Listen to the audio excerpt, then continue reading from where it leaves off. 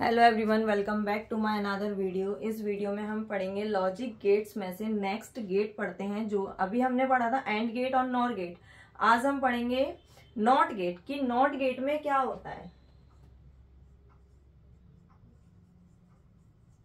अभी जो हमने दो गेट पढ़े थे, उसमें क्या था कि आपके मल्टीपल इनपुट थे, पर सिंगल आउटपुट था।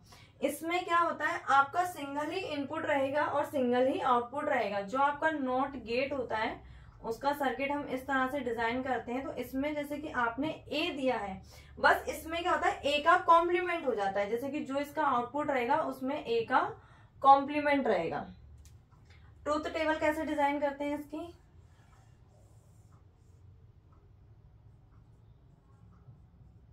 इनपुट आउटपुट ए ए का कॉम्प्लीमेंट मीन्स अगर ज़ीरो है तो वन हो जाएगा और वन है तो ज़ीरो हो जाएगा. नॉट गेट हमारा सबसे इजी गेट है क्योंकि इसमें आपका सिर्फ़ एक ही इनपुट है और एक ही आउटपुट है.